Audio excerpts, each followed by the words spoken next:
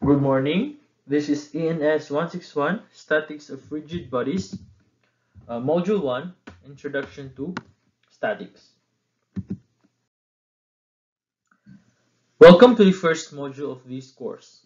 So, for this uh, first lesson, we will be discussing the fundamental concepts and principles of um, statics.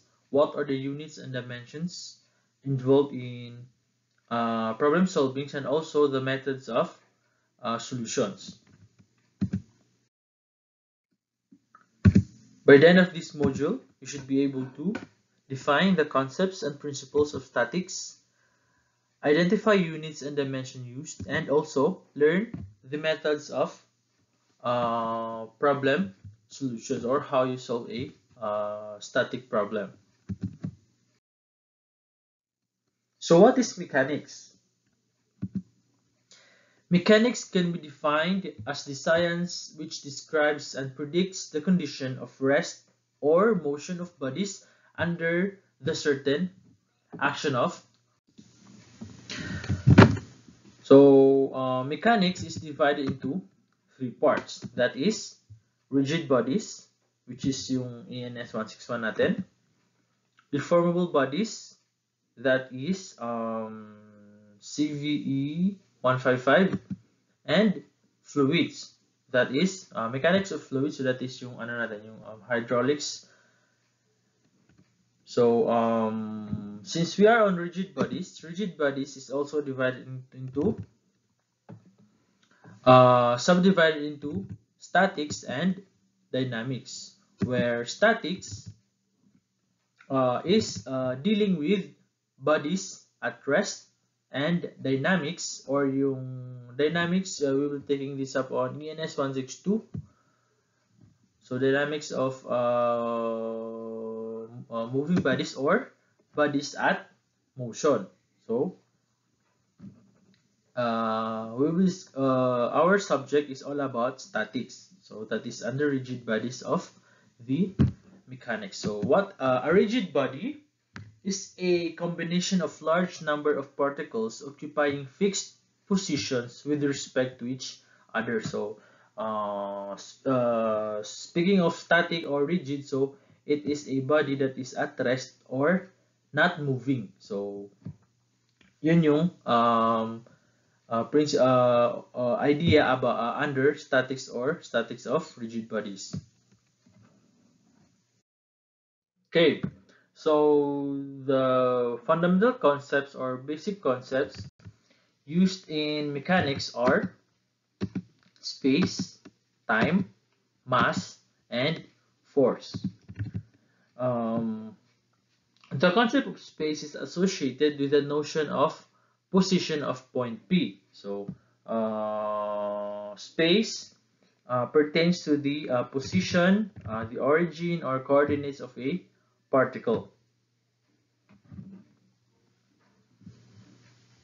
And then, so to, uh, to define an event, so it is not sufficient to indicate only the position, but also the time of that uh, event. So, how fast, how slow, so ganon yung um, concept about time. So, um, the concept of mass is used to characterize and compare bodies on the basis of certain fundamental mechanical experiments. So um, two bodies of the same mass, for example, will be attracted by, by the Earth in the same manner. So they will also offer the same resistance to a change in translational motion. So if they have the same mass, but if they have different mass, so there are also different effect and results.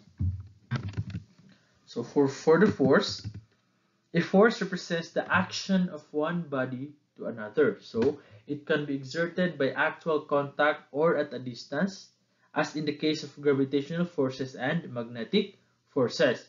So a force is characterized by its point of application, its magnitude and direction. So um, example, you touching a particle. So on what uh, point you are touching the particle, how strong or what is the magnitude uh, force uh, of force you're exerting on that particle and on what direction. So a force is represented by a vector. So, uh, further, ma-discuss natin kung ano yung um, vector. Okay, so the study of elementary mechanics rests on six fundamental principles based on experimental evidence. First is the parallelogram law for the addition of forces. This, uh, this uh, law states that two forces acting on a particle may be replaced by a single force called the resultant obtaining by drawing the diagonal of, a, of the parallelogram which has sides equal to those of uh, equal to the given forces. So if uh, particle A is subjected to um, forces uh, P and Q, so you can add or substitute uh, forces P and Q as uh, R as the resultant by drawing a, a parallelogram. So this is a parallelogram. So this is the resultant of P and Q. So uh, we'll be discussing this um, uh, in detail sa mga following na modules. Next is the principle of transmissibility. The principle of transmissibility states that the conditions of equilibrium or motion of a rigid body will remain unchanged if a force acting at a given point of, uh, of the rigid body is replaced by a force of the same magnitude and same direction but acting at different point provided that the two forces have the same line of action. So if you have this particle subjected to force F at this point of uh, point of application and this uh, direction, so substituting this with uh, force F prime at different location but within the line of action, same direction and magnitude,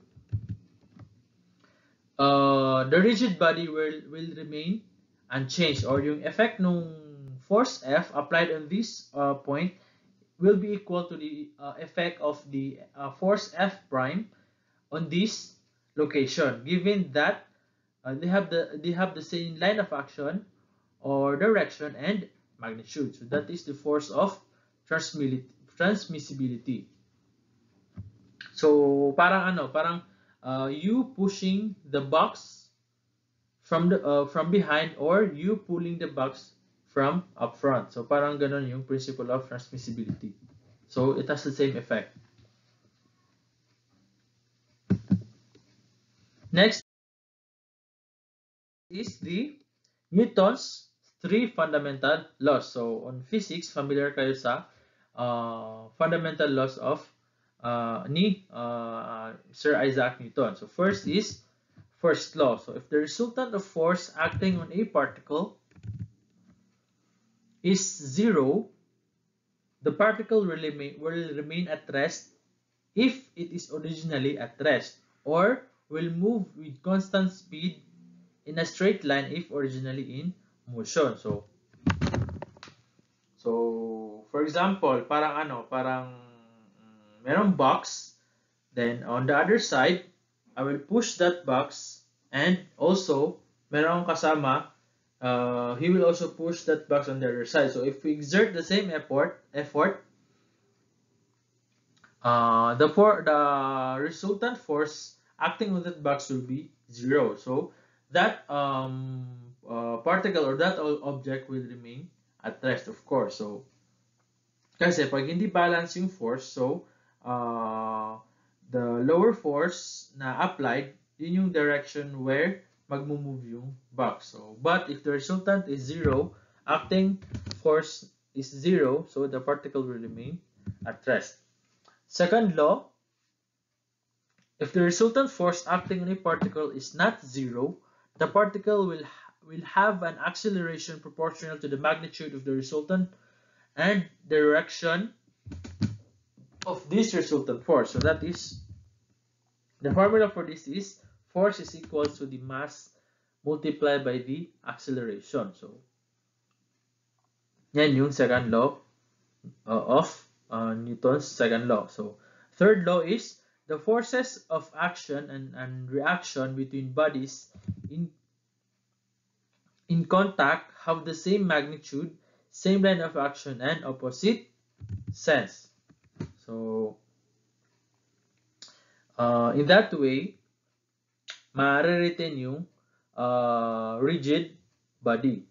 So uh, it is an action reaction. So if you is pu uh, pushing against a wall at the say at, this uh, uh, magnitude of force and direction, the wall is also exerting a force opposite uh, to your uh, application, but with same magnitude and same line of action. So that is the third law.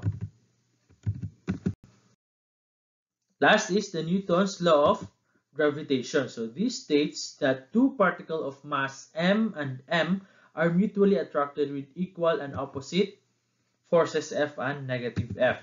So a particular case for this is that of the attraction of Earth on a particle located on its surface. So the force F exerted by the Earth on the particle is, is then defined as the weight uh, W of, of the particle. So it is uh, parang uh, force of attraction. So um, siguro familiar sa science no nga na uh, the Earth is attracting the moon and also the moon is attracting uh, has a force of attraction to the Earth. So that that is why uh, moon is hindi siya uh, tumatapon. So merong force of attraction between them. So that is same also for us uh, na nandito sa uh, ibaba ng Earth. But uh, we cannot feel the force, uh, we cannot feel our force of attraction to the Earth kasi malakas yung force of, uh, of attraction ng Earth sa uh, atin. So that is why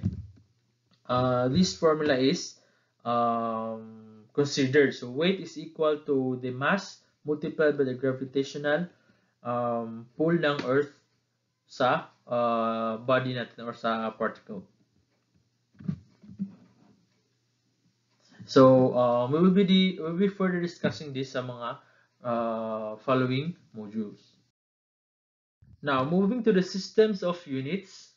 So, there are two systems of units usually. So, first is the Inter International System of Units or SI units and the um, English units. So, SI units. So, the base units are the uh, are the units of length, mass, and time. So, they're called uh, respectively as uh, length, uh, meter for length, kilogram for mass, and seconds for time.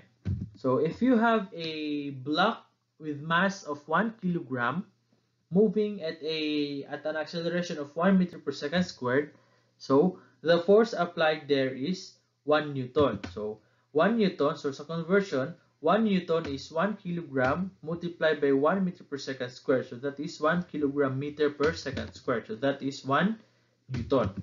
So also, if that mass of 1 kilogram is um, uh, with respect to its weight, so uh, weight is uh, mg. So that is mass multiplied by gravitational acceleration. So 1 kilogram multiplied by 9.81. So uh, 9.81 is constant. So this is a constant gravitational acceleration due to uh, gravity.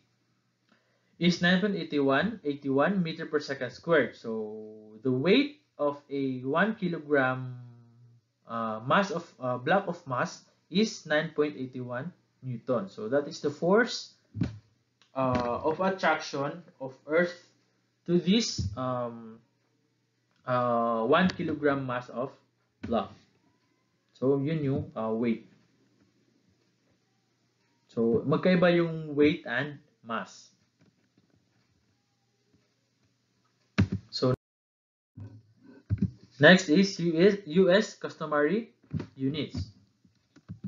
So, these units are respectively foot uh, or for the length and pound for mass and seconds still second for time. So,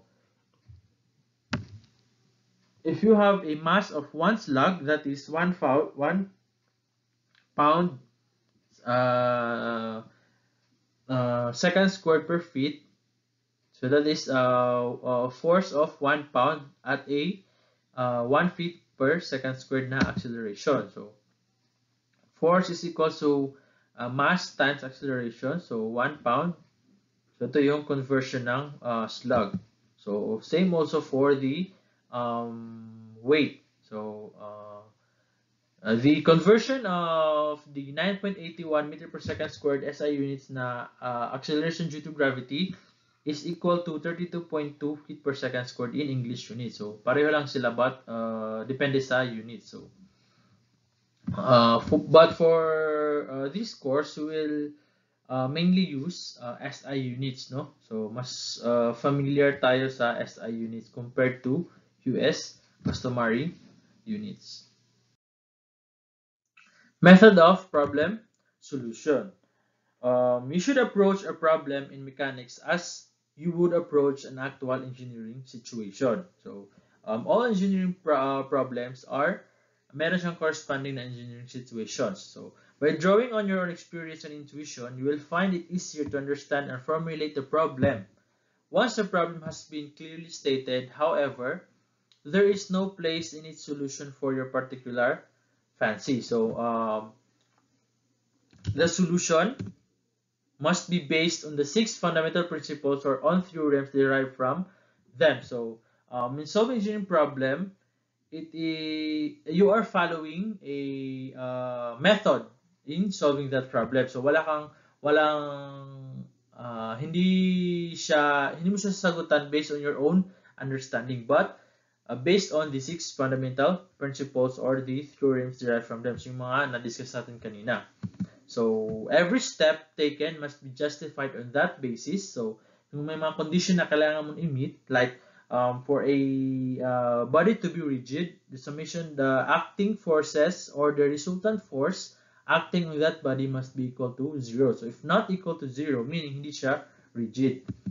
So, strict rules must be followed, of course.